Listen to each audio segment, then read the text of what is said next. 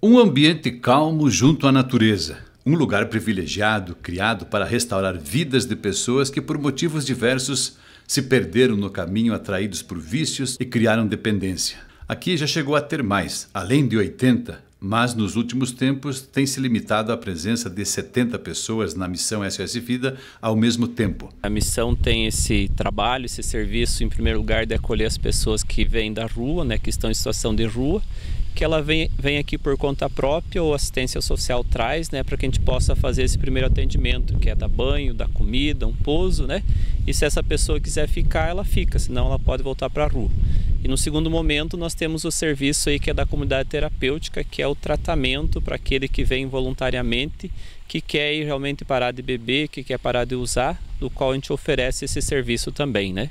Em quase 30 anos de casa já passaram pela obra cerca de 10 mil pessoas. Algumas por uma vez somente, outras com reincidência.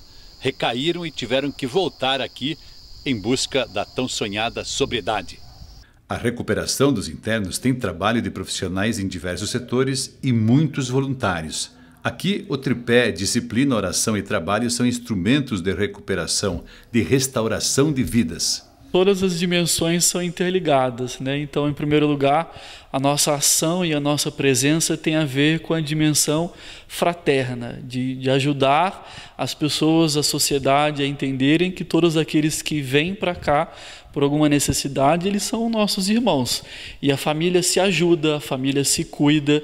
Então nós propiciamos o máximo possível para que os nossos irmãos sejam restituídos na sua dignidade, porque a compreensão é, da pobreza franciscana traz a solidariedade como restituição. Se para essas pessoas falta alguma coisa, é porque a, a vida não possibilitou que elas pudessem estar no melhor que elas poderiam ser. Né? Então, hoje, então, nós auxiliamos para que elas sejam restauradas como pessoas, como irmãos.